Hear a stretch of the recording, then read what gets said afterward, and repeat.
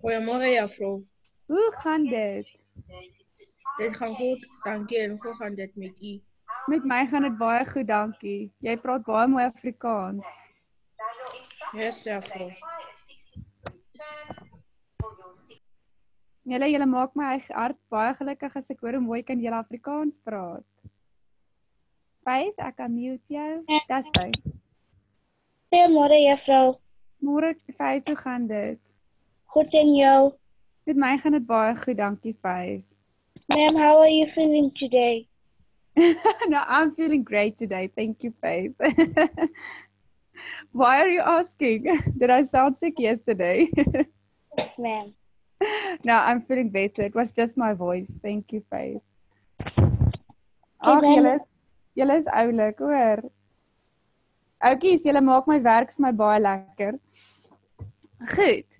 Ek wil julle herinner om asseblief julle toetse in te vul. I would like to remind you guys to please complete your test as honestly as possible and to send it to me. Please email your tests to me.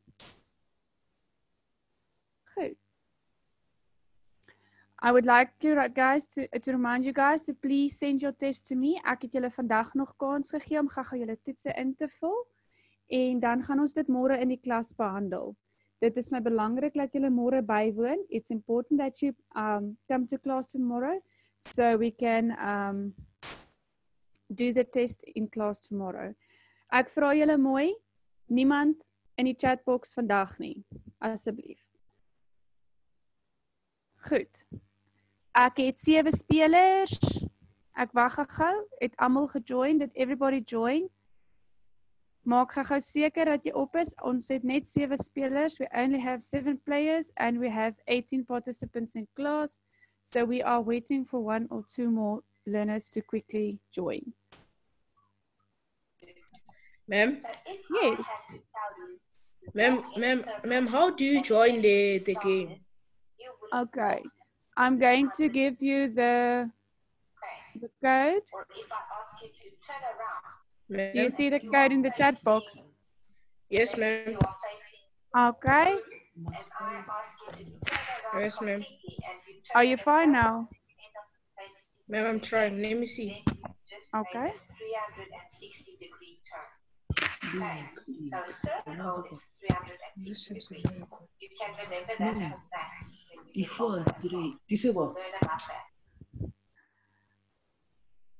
Good. Ons het excuse oukies. If you're not able to um do the Kahoot, please just type the answer in the chat box so I can see. Daar sê is nog paar van julle. Ons het 8 spelers. Okay. I'm just going to read the screen names today if I read the scores. Okay, dankie Lesedi het ook vir ons die link daar geshare. Okay, dis 907 9 10 9 1 10 9 10 10 oor 9 gaan ons begin. I'm giving you giving you guys 3 minutes to quickly join the game so we can start. Otherwise, we're not be- going to be able to finish. Anders gaan ons nie klaar kry nie. Goed. Jy het 9 spelers, 10 spelers. Dis sy. Waar's die res?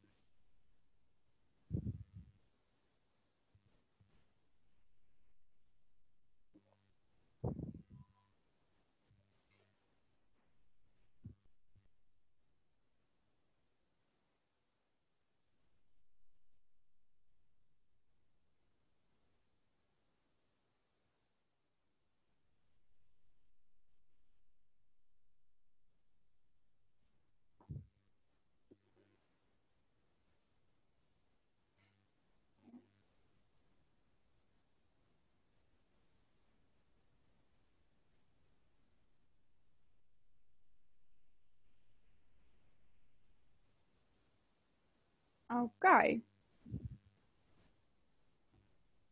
Ons het 10 spelers, 11 spelers, dankie.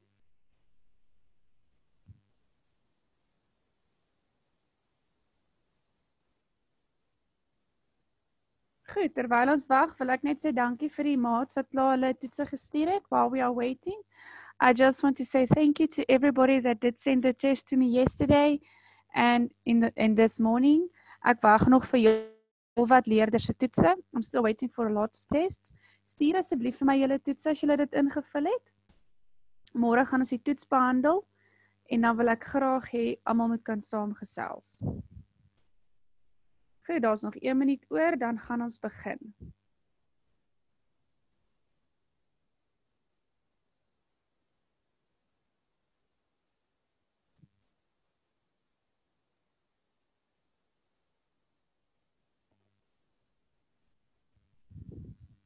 Is almal in? Hier's nog net 10 spelers. Goed.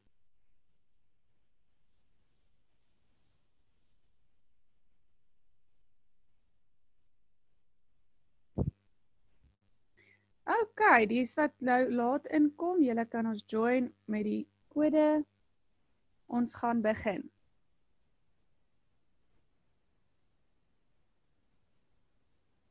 Kom ons speel Kahoot. Goed. Heg twee sinne aan mekaar. Is dit rooi voegwoorde, blou selfstandige naamwoorde, geel bywoorde of groen werkwoorde? Heg twee sinne aan mekaar.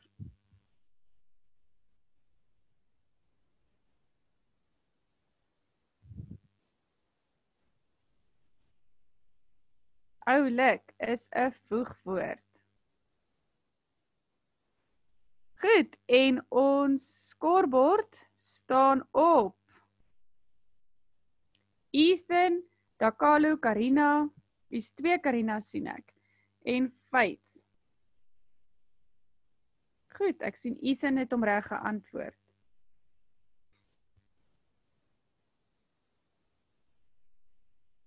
Goed, ons volgende vraag. Soen en kus is 'n voorbeeld van 'n antoniem. Is dit blou waar of rooi onwaar? Soen en kus is 'n voorbeeld van 'n antoniem. Is hy blou waar of rooi onwaar?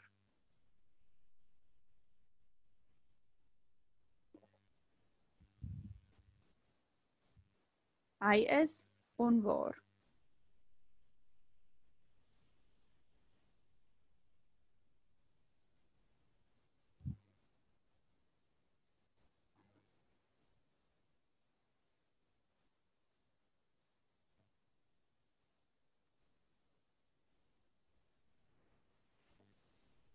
Goed. Baie oulik. As daar van julle is wat nog moet inkom, stuur ek vir 'n laaste keer die kode. OK. Baie oulik. Ek sien hier's nou mense op ons skoorbord. Ethan Malik, Akani Refense en Dakalu. Goed. Ons volgende vraag. Twee woorde wat dieselfde gespel word en dieselfde klink, maar verskil in betekenis. Two different words spelled the same. It- It's spelled the same and sounds the same but differs in meaning. Rooi homofoon, blou homoniem, geel werkwoord of groen bywoord. Is 'n homoniem.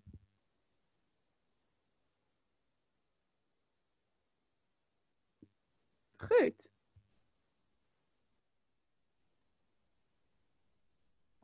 Lig en donker is 'n voorbeeld van 'n antoniem. Is dit waar, blou of onwaar, rooi? Lig en donker is 'n voorbeeld van 'n antoniem. Blou is waar en rooi is onwaar.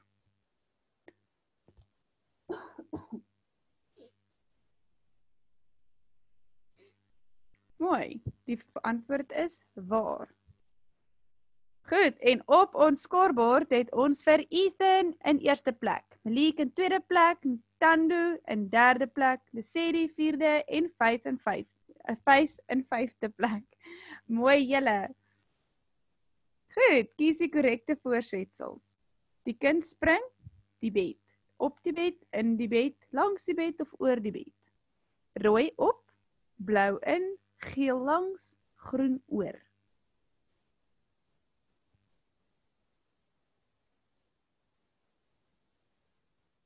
Mooi. Dankie Kiamagetswe het ook mooi geantwoord. Hy spring op die bed.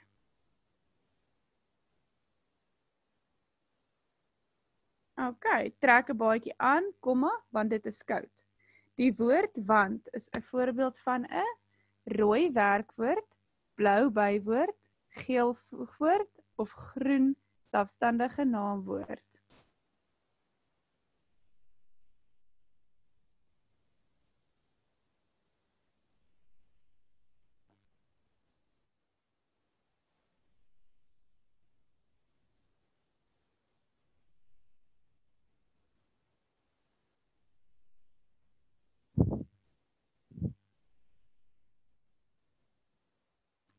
Baie mooi. Dis 'n voegwoord.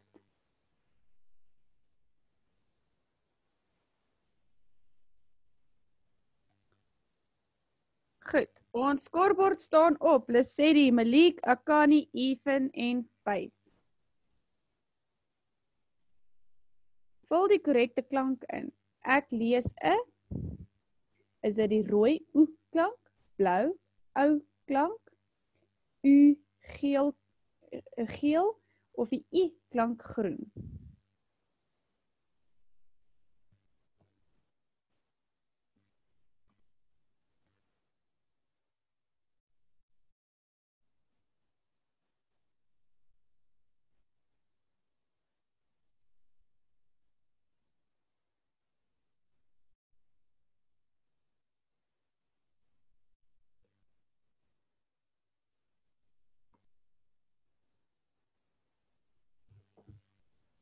Ja, mooi. Dis die u klank.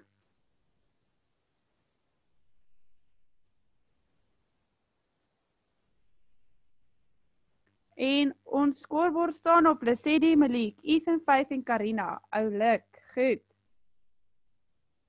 Waar of vals? Klink dieselfde, maar verskil in spelling en betekenis. Dit verwys na 'n homofoon. It refers to a homo homofoon klink dieselfde, maar verskil in spelling en betekenis. Is dit blou waar of rooi vals?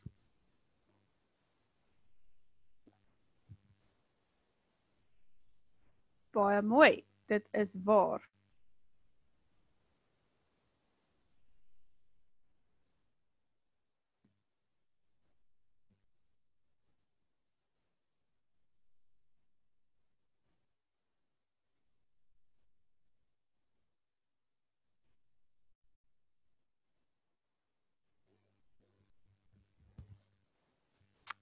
OK, baie mooi. Goed. Dit is waar. Ons volgende vraag is: Kies die werkwoord uit die volgende sin. Die kind speel met haar pop. Is dit rooi kind, blou speel, geel pop of groen met? Kies die werkwoord. Mooi, Kiamogetse. Baie mooi, julle speel.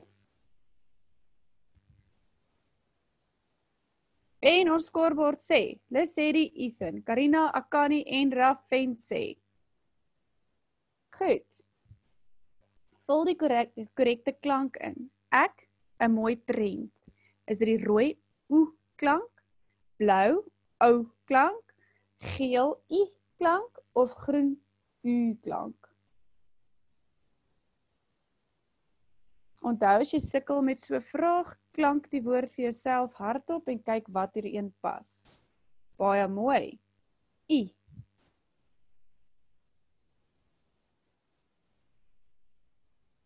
Goed, ons volgende vraag verwys na iets wat jy kan sien of voel. Refers to something that you can see and touch. Is dit 'n rooi bywoord, blou selfstandige naamwoord, geel werkwoord of 'n groen byvoeglike naamwoord. Verwys na iets wat jy kan sien en voel.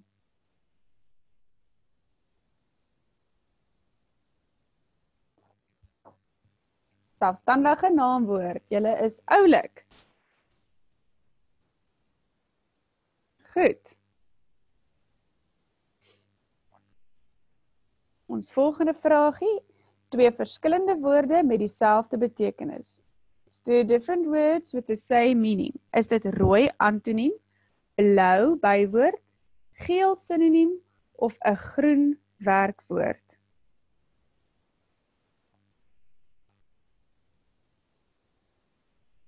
Is 'n sinoniem. Baie mooi.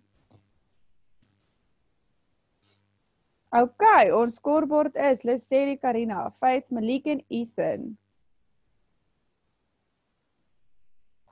'n Bywoord. 'n Bywoord. Vertel hy jou meer van die werkwoord? Does it tell you more about the verb? Of vertel hy jou meer van die selfstandige naamwoord? Does it tell you more about the noun? Wat is die funksie van 'n bywoord?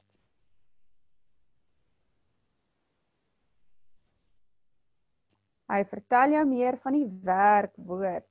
Jy moet mooi lees. An adverb tells you more about the verb. Goed. 'n Byvoeglike naamwoord. 'n Byvoeglike naamwoord. Vertel hy jou meer van 'n selfstandige naamwoord of vertel hy jou meer van die werkwoord?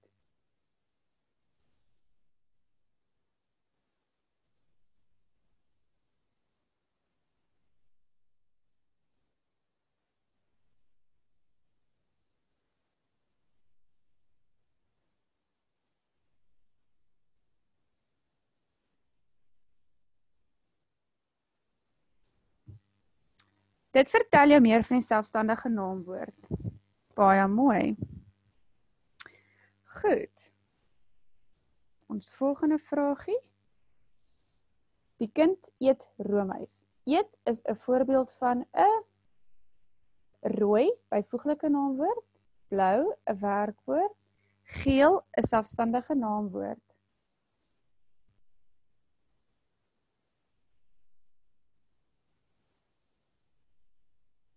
Mooi. Is 'n werkwoord. Baie mooi. Wat doen die kind? Hy eet. Great. Ons volgende vraag. Die mooi kind speel met haar pop. Mooi is 'n voorbeeld van 'n rooi bywoord, blou selfstandige naamwoord, geel bevoeglike naamwoord of groen 'n werkwoord.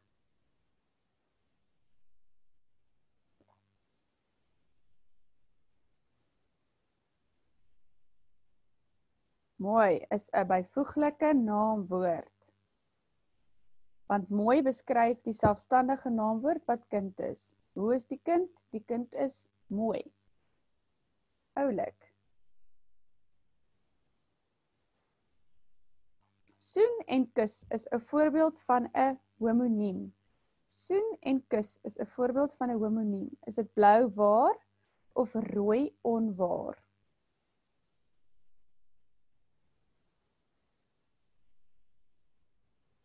Dit is onwaar want soen en kus is 'n voorbeeld van 'n sinoniem.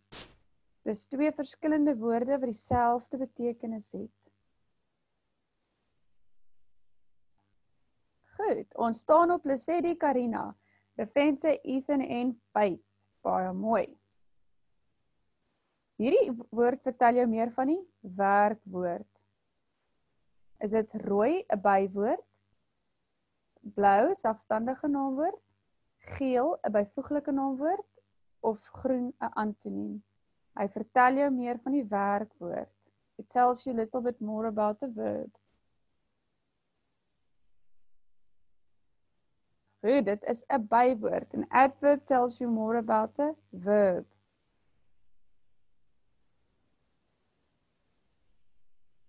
A werkwoord verwys na iets wat ek doen, rooi, blou, verwys na iets wat jy kan sien en voel of geel. Vertel ons meer van 'n selfstandige naamwoord. Mooi, verwys na iets wat ek kan doen. Antoniem is twee verskillende woorde met die teenoorgestelde betekenis. Is dit waar, blou of vals, rooi?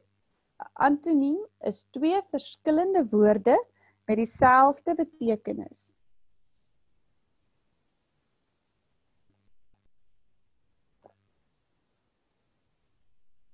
Mooi, dis waar. Daai was 'n goeie antwoord. Jy het goed ge, goed geantwoord. Goed, ons skoorbord sê, hulle sê die Karina, Rafen sê Ethan en ek weet nie of ek hom reg gaan sê nie, maar ek gaan probeer. Glennie. Hengley. Askies as ek hom verkeerd sê, hoor.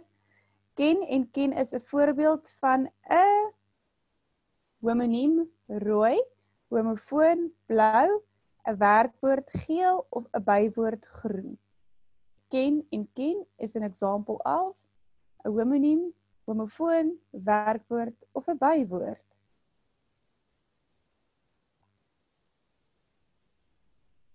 Dis 'n homoniem. Hy klink dieselfde, hy is dieselfde gespel, maar hy twee verskillende betekenisse.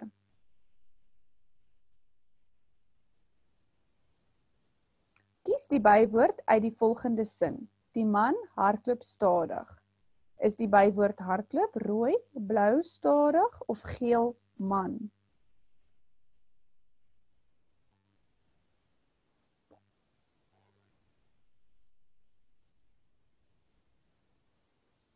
Baie mooi.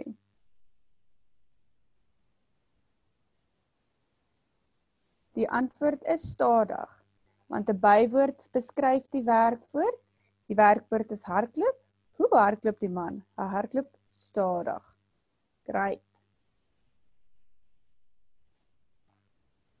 Kort, lank en kort is 'n voorbeeld van it's an example of 'n rooi byvoeglike naamwoord.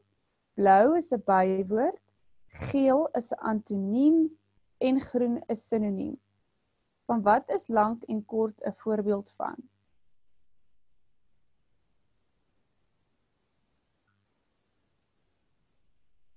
Antoniem. Want 'n antoniem is twee verskillende woorde met die teenoorgestelde betekenis. It's two different words with the opposite meaning. Dit is 'n antoniem.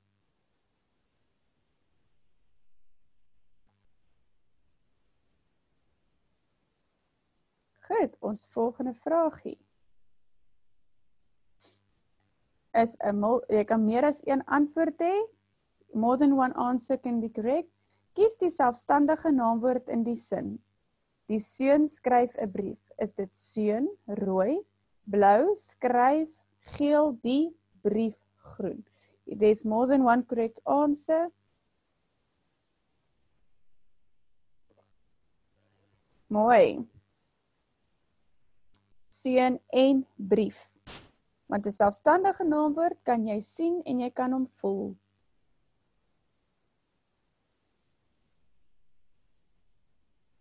Vul die korrekte klank in. Ek is bang vir die is dit die rooi o blou a geel e of groen u. As jy sukkel met so 'n vraag, klank die woord vir jouself hardop. Baie mooi. Ek is bang vir die spook.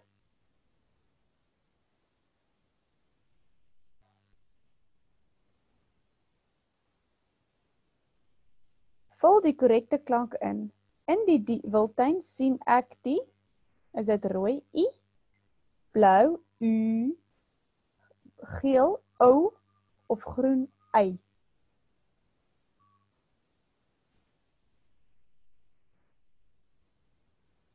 In die dieretuin sien ek die sien ek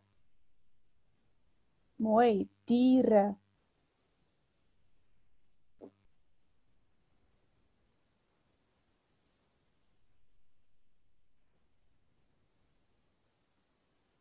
Vul die korrekte voorsetsel in. Sy sit op die stoel of in die stoel. Rooi op, blou in.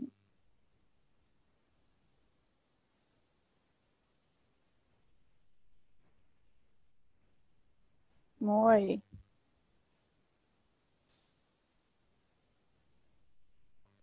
Vul die korrekte voornaamwoord in. Tandi bly in rooi sy en blou haar huis.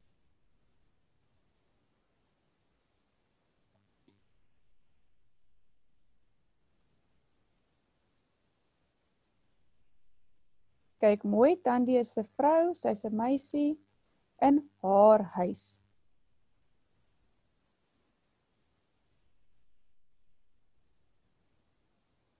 Vul die korrekte voornaamwoord in. Pieter speel met haar rooi, blou hom, geel sy. Speelgoed. Mooi. Sy speelgoed. Pieter is 'n man. Hy's 'n seun. Hy speel met sy speelgoed. Vul die korrekte klanke in. Ek bak.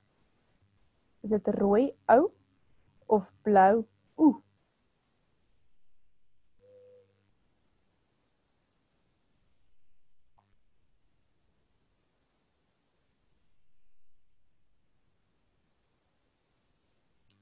Mooi, dit is die oe klank.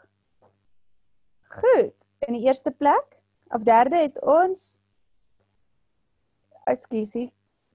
Ek gaan nou hoor hoe sê ons jou naam. Karina is tweede en eerste is Lesedi. Baie mooi. Vierde is Akani en vyfde is Ravense. Ek wil graag vir jou unmute. Ek Engli, ek weet of sê kom reg nie. Ek wil jou unmute dat jy vir my kan sê hoe spreek ek kom uit asseblief.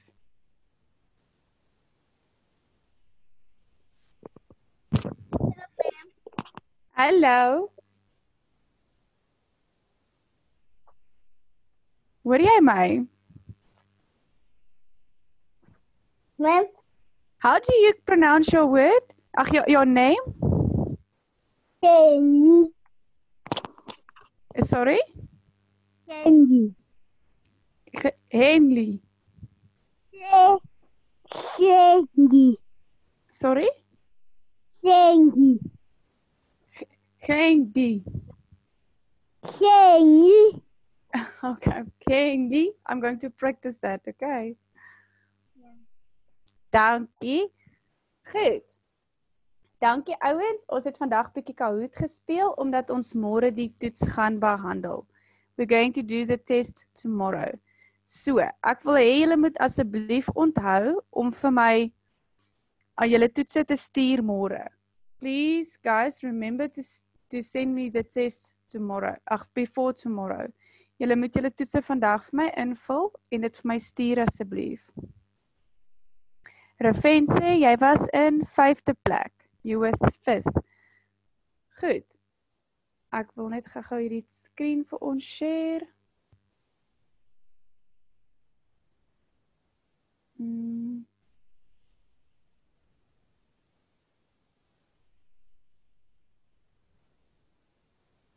Ah, sy, hier is ons nou. Goed, is daar enige van julle wat nog nog gesukkel het om die toets in die hande te kry? Daar's baie van julle wat die toets al vir my gestuur het en ek wil sê dankie. I want to say thank you for the learners that did send me the test already. Is daar nog van julle wat vragies het voordat ek die aanbeweeg? Is there anybody that still have questions before I move on?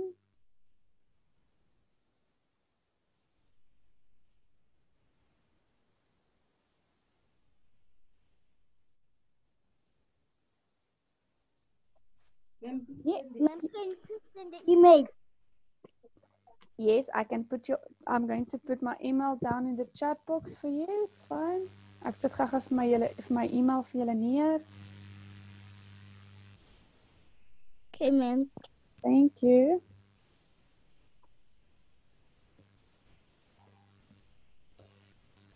Ah, Assai. Ek kan nie, ek gaan jou unmute. Ma'am, Ja, can you hear me? ja, ek hoor jou. Okay. Kom ons lees saam. Die krab en die kreef is maats. Hulle woon saam onder die kraan. Krab soek kry om vir kreef te gee. Hy vra toe vir Kriek om hom te help. Kriek is al baie oud en krom. Hy dra 'n kroon vol krale. Met Kriek se hulp sal hy dit maklik kry. Baie mooi, dankie Akani. Faith, ek unmute jou. Ma'am, kan jy tot sien? Yes, you can. You may. Tot sins. My oupa sê dat ons moet trek. Dit maak my baie seer want ek moet nou vir al my maat tot sins sê. Want daar 'n uil in die boom en hy hoor daar weg. Hy vang graag meisie in rood en haas in die donker nag. Ek moet wegbly van hom in die donker nag. Maar moord ek trek ons in my hart as seer ek sê tot sien.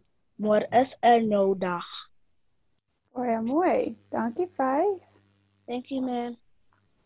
Goed, is daar nog iemand wat gou wil lees? Steek op julle hande. Ons het nog 5 minute om te lees.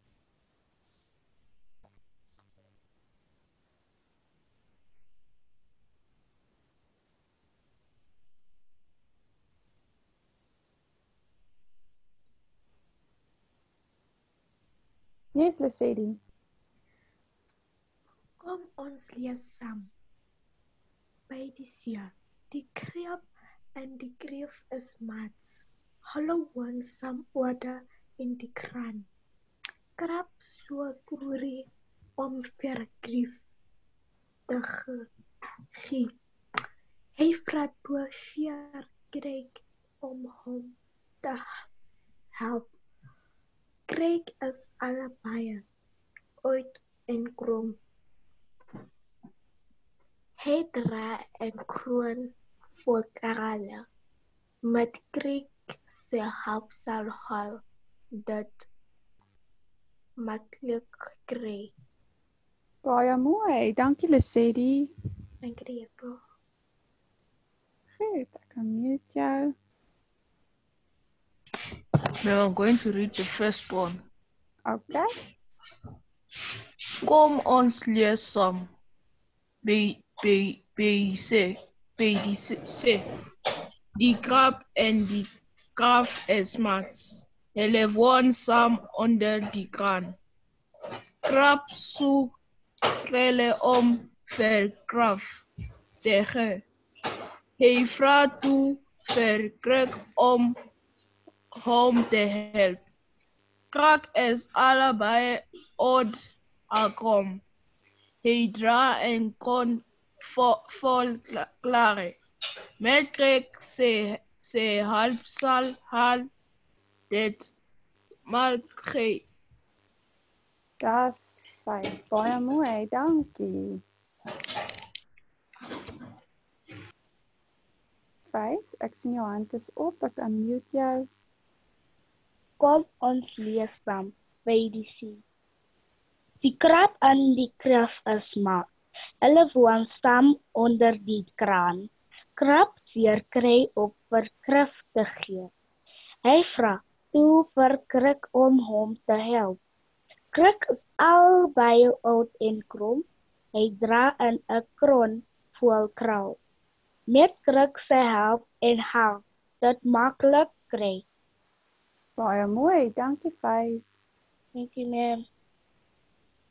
Goed, is daar nog iemand wat graag wil vir ons antwoord? Is there anybody that still would like to read to us?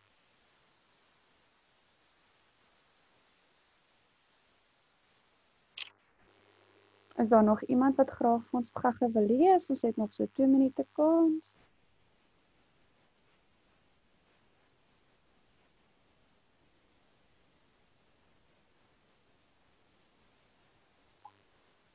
As sy kan mute jou.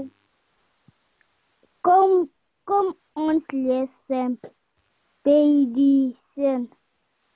Die krab en die kreef is mat. Hulle woon se oor die sand on the ground. Crabs got om vergeten. Hij de ver ge om. Om help to help. Ge is help one and gewoon. Hij drie. Hij drie en twee varken met dezelfde sal hulle die maak gee.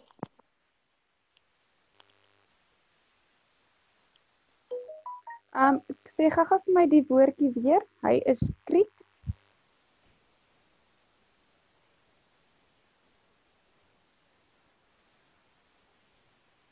Sê bietjie kriek. O, is hy nou weer af? Okay, goed. Goed, is daar enige van julle wat nog vir ons wil lees? Besedi, ek unmute jou.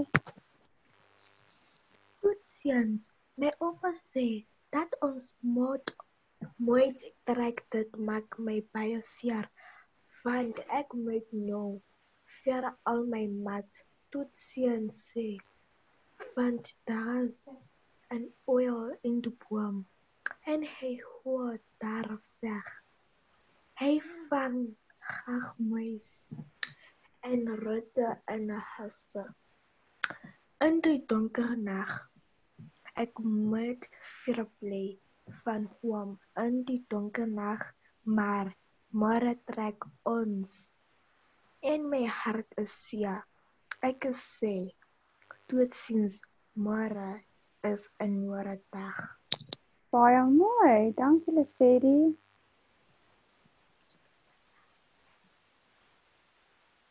Goed, is daar nog enetjie van julle wat gaga wil lees? Ons het nog 1 minuut oor. Is there anybody that still quickly wants to read?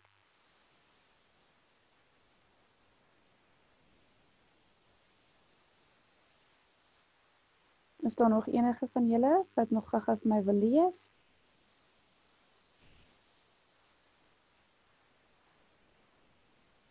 Okay, while we have a minute guys, terwyl ons 'n minuut het, wil ek graag vir julle vra om julle Zoom name, julle name te maak waarop ek julle kan waarop ek julle kan noem. I need you guys to change your name, your usernames to your correct names, please.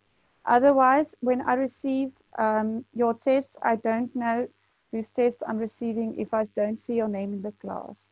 So ek vra asseblief vir julle om julle Zoom usernames, julle korrekte name te maak, to make it your correct names. Okay. And then I'm going to put down my email address in the chat box. My e-pos adres is in die chat box. Faith, ek kan mute jou gou. Mama, I just wanted to ask for the Mhm. email.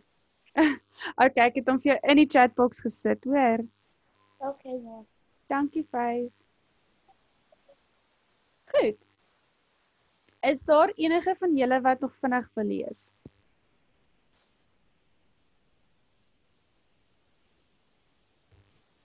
Okay, great. Ek wil net vir julle sê baie dankie vir 'n lekker klas.